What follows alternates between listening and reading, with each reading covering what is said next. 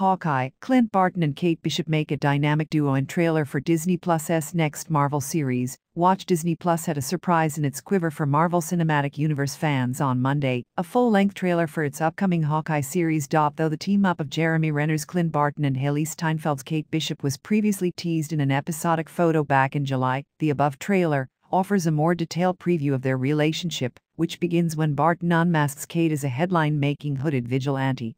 Described as equally as annoying as she is charismatic, Kate will bring about a slew of problems that Barton will then have to wrestle with. The logline describes The events of Hawkeye were previously teased in a post-credit scene during the Marvel film Black Widow, in which, spoiler alert, Yelena Belova, played by Florence Pugh, was offered the opportunity to hunt down Barton, aka the man responsible for the death of Yelena's sister, Natasha Romanoff.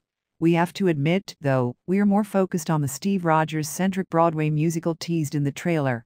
So many questions Hawkeye premieres Wednesday, November 24th.